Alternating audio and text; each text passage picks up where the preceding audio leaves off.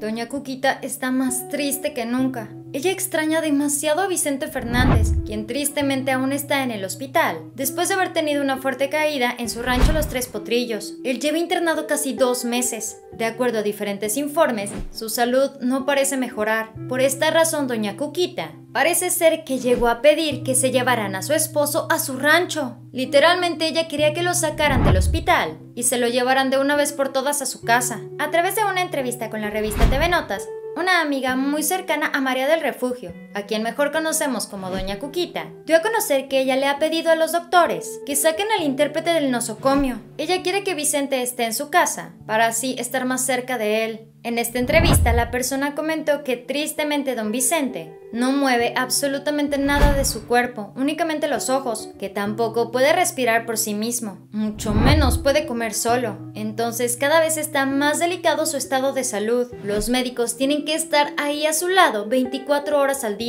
Esto debido a que tienen que estar monitoreándolo y checando los aparatos que aún lo mantienen con un estado de salud constante. Debido a la situación actual por la enfermedad mundial, doña Cuquita no podía estar todo el día en el hospital, aunque ella en verdad así lo deseaba. Después se supo que a doña Cuquita la tuvieron que intervenir quirúrgicamente por una hernia en el vientre. Lo bueno fue que todo salió a la perfección. Ella solo estuvo en el hospital tres días. Era un tema que sí ya traía de meses atrás, pero con todo lo de Vicente Fernández se le adelantó. Esta persona comentó que doña Cuquita ya tenía planeado sacar a Vicente desde hace mucho tiempo, pero con lo que le pasó sus planes se vinieron abajo. Con sus propias palabras en la revista comentaron, lo que pasa es que antes de que ella se pusiera mal, le pidió a sus hijos que hablaran con los doctores que están atendiendo a Vicente, que le permitieran que el cantante se fuera al rancho con todos los cuidados.